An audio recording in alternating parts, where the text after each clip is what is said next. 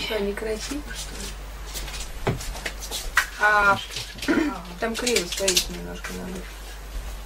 Ну, ты скривись, ты уже Ну это же неудобно так стоять. руками.